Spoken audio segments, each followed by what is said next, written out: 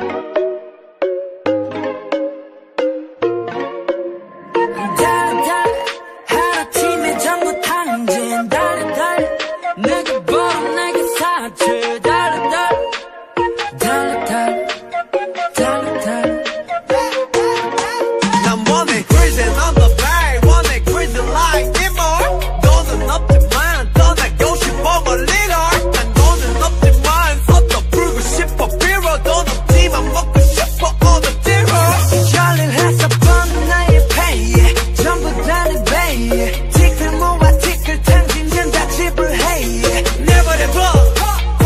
내버려둬 내일 아침 내가 미친 놈처럼 내 작업을 깨버려둬